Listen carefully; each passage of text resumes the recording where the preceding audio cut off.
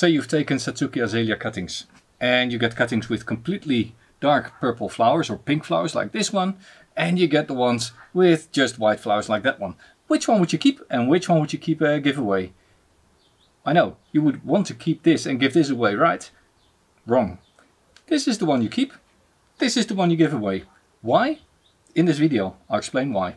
Hey, welcome, this is Jelle from Growing Bonsai and today we're looking at azaleas. And not just any azaleas, no, we're looking at Rhododendron indicum, the Satsuki azaleas, or as some parts of the world call them, Satsuki azaleas.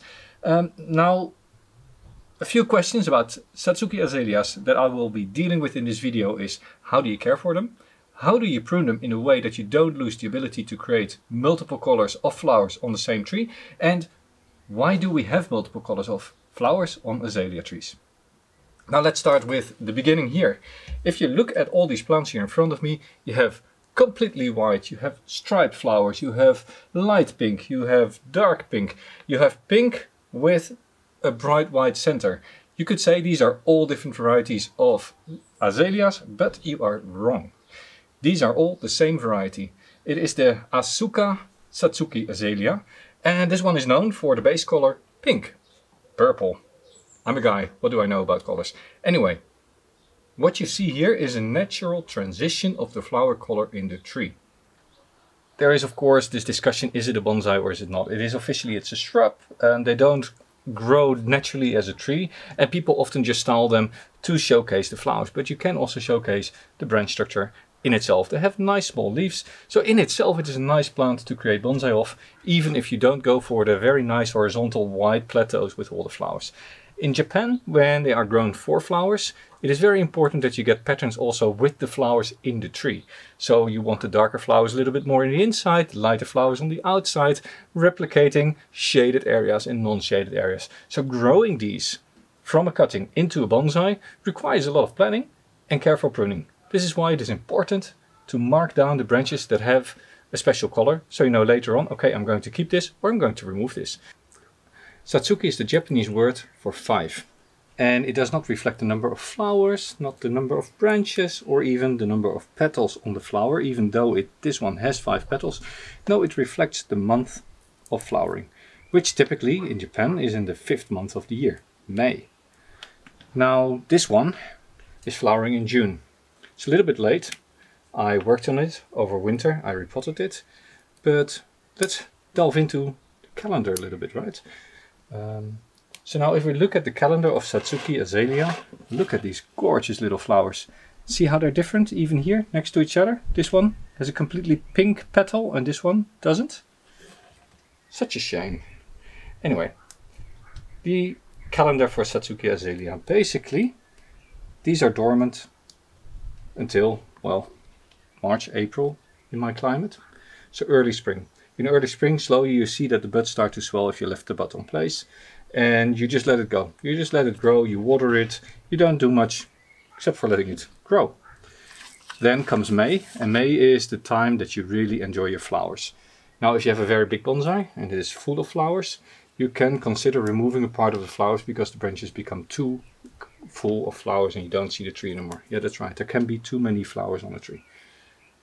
Now later in the month, um, basically once a third to half of the flowers have flowered, you can start considering removing the rest of the flower buds. This will greatly enhance the strength of the tree, which will help you grow new branches this year.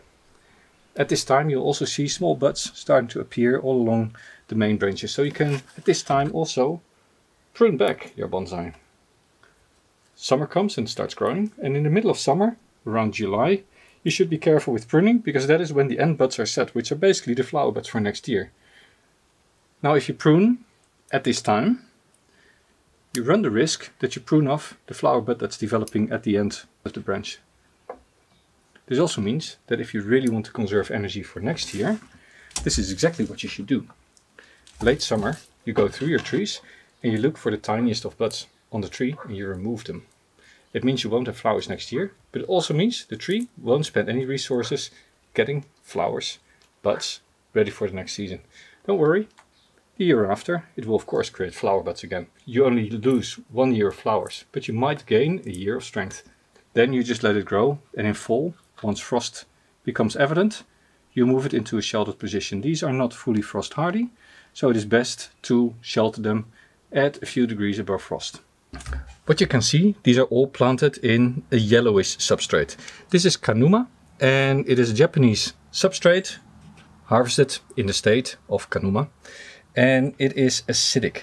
And this is very, very nice for azaleas because azaleas like somewhat acidic soil.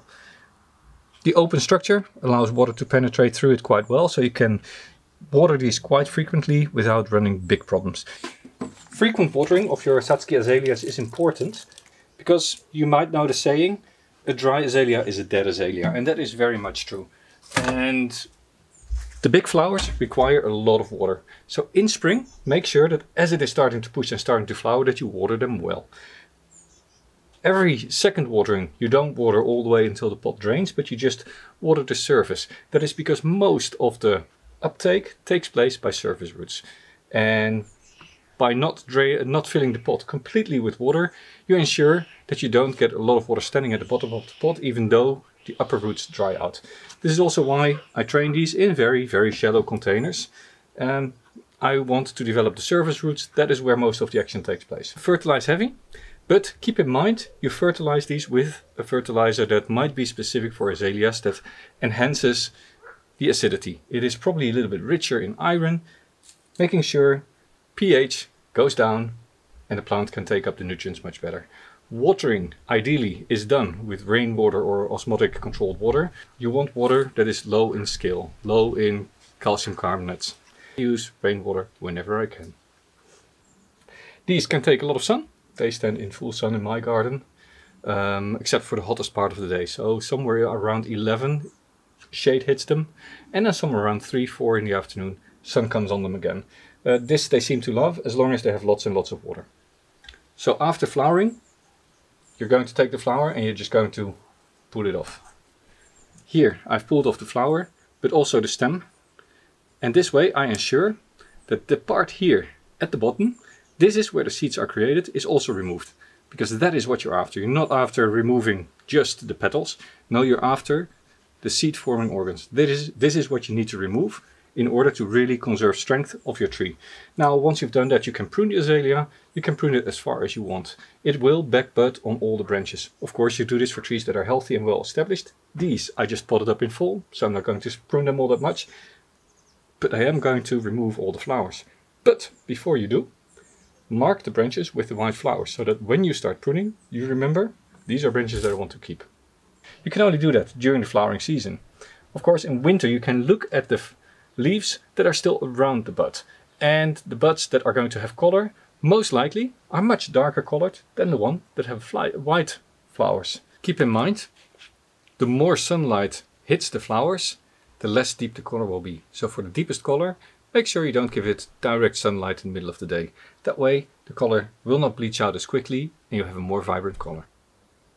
What happens with this type of azaleas is that as the plant or branch matures, at a certain point a gene might flip. And what happens is you originally have nice white flowers on your tree and then the gene flips and all of a sudden you have the striping in there. So this is a striping gene. Base color pink. And here I have very light striping, here I have some heavier striping and here actually the striping has turned into a full color pink flower. Take it one step further. You have a pink flower with a white heart and you take it one step further and the flower is completely pink. Now what is important to realize here is that the coloring and the patterning is pretty much a one-way street. So the basic flower is white, add a little bit of color or pattern to it and you get the pink striping that you see on these and you add more and more color, you get to those colors, and you cannot go the other way. So a branch that has pink flowers, never say never, but pretty much never, returns to have white flowers or white pink striped flowers. Now what does this mean when you're pruning your azalea? A few things. If you're pruning and you want to take cuttings, these were all cutting grown and I just got them last year, you have to pay attention which branch you use for cuttings because this one will only grow the pink flower with the white heart and the completely pink flowers. it is very unlikely that this one will recreate white flowers. Same for this one. So these tools, they're not going to stay in my garden very much. I'm going to hand them over. But if you have the young cuttings, it is sometimes hard to tell. Now this is one of my base plants that I'm going to use for cuttings because it still produces the white flower. So this is going to be a key element in my collection. I'm only going to take cuttings from branches with white flowers. This one is just nice. This one is nice. This is the only branch that I've found so far with this mottled color on there. So this is also one that I'm going to keep, although I know that all of these can still produce them. These cannot. These are at the end of the road for the colors. Of course, a gene mutation can still happen, but it's less likely, likely to happen on these. Um, this is a very interesting part of these azaleas from a genetics perspective. I'm not going to bore you with it because this is just basically the baseline information that you need to know. You start off with the lightest version of the flower and you turn it into the darkest version of the flower. Now what will happen um, is that a branch like this with a bright white flower, well this one is actually striped, but say this is white, it grows, it grows, and at a certain point the gene switches. And then you go from the white to the striped, and from the striped you go to the pink one. And basically all the growth that was there until the genetic switched will remain white. Then the part grown after that will have the stripes. And if it switches again, that's when you get the purple flowers. But it doesn't always mean that they're at the end of the plant. Because also here this mutation might take place, creating dark flowers. Or here, or here. So it's always good if you have taken cuttings to wait for flowers to occur to really check, well, which branches are good and which are not. And have I taken cuttings of a plant that is useful. These ones are less useful for future development. And in fact, I can't even use the variety name Asuka anymore. Because Asuka is characterized by white, pink striped, pink with white heart and dark pink flowers. So make sure you mark the pots of the cuttings in the color that you don't want to keep so you know later on, after flowering, which one to give away.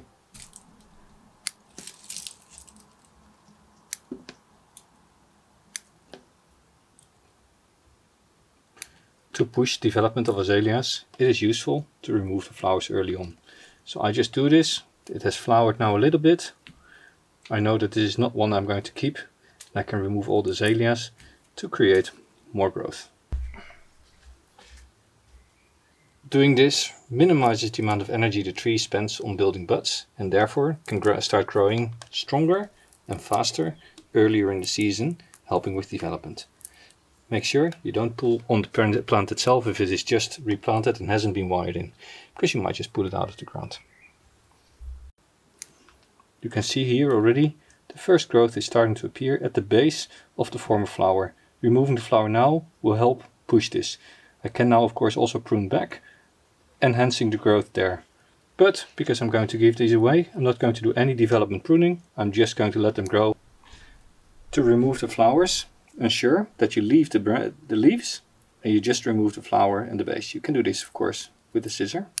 You can grab the base of the branch and take a hold of the bud and just rotate it off. Or you grab the base of the branch and you use your nails to pinch the flower off. So I water these at least once a day. This is just a primer on the Satsuki azaleas, so no more from me. Have fun growing these, keep track of the white flowers, and see you next time. Keep growing bonsai.